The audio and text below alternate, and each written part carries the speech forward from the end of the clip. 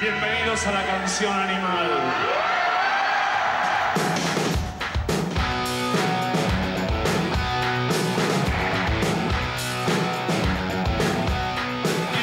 Yo cuando entré tocaba temas viejos, después empezaron los temas de canción animal.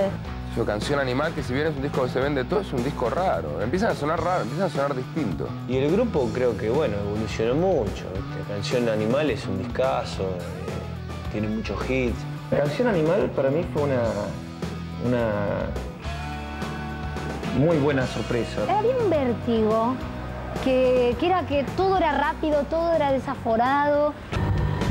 Canción Animal. Tenía un sonido tan, tan real, de, de humano, de, de estar tocado. Para mí es uno de los discos que más me gusta. No, no podés elegir uno.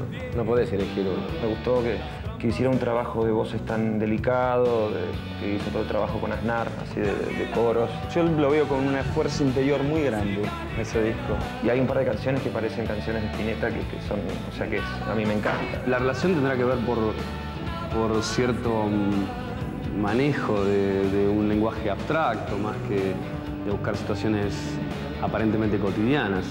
Eh, también de haber sido un poco el germen de, que- de querer hacerme músico, eh, Spinetta sin duda me influyó mucho. Sé que, que aprendió a ser Gustavo fue a, a involucrarse con la estética, ¿no? a perderle el miedo a, a- a desarrollar conceptos más plásticos, inclusive con las letras. Solamente tomaba la sensualidad de las palabras y la ubicación de ellas y no me importaba mucho lo que decían. Me acuerdo que llevaba un diccionario con, con, con sinónimos o, o con palabras que hacían rima entre sí. Tenía una gran libreta que le iba anotando ideas. Y en ese sentido sí me, me gusta esa idea y, la- y- y sigo un poco por ese lado, ¿no?